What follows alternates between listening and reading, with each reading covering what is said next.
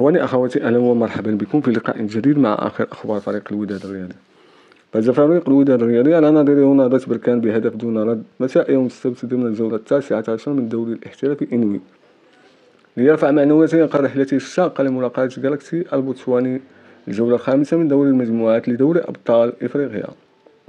واتسم الشوط الأول بالتكتيك الصارم بين المدربين التونسيين معين الشعباني وفوزي البنزرتي.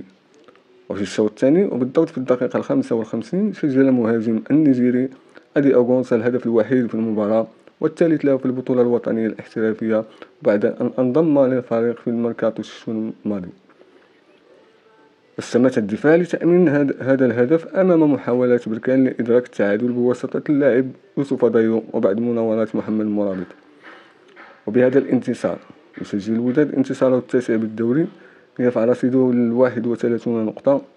في المركز الرابع خلف الفتح الرباطي بفارق الأهداف بينما يحتل نهضة بركان المركز الخامس برصيد ثلاثون نقطة.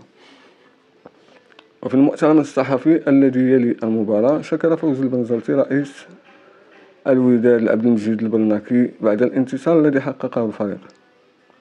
وأوضح أنه اجتمع مع الرئيس ونجح في إقناعه بالتراجع عن قرار الاستقالة ومواصلة تدريب الفريق. وأضاف عبد المجيد البرناكي يعرف كيف يتحمل المسؤولية ويجاري الأوضاع التي يعيشها الفريق حاليا. وأصر على بقائه رفقة باقي أعضاء النادي وأنا أشكرهم. وفي حديثه عن المقابلة قال قدمنا مباراة في المستوى ضد فريق قوي وحاولنا تفادي الأخطاء التي ارتكبناها في المباريات السابقة.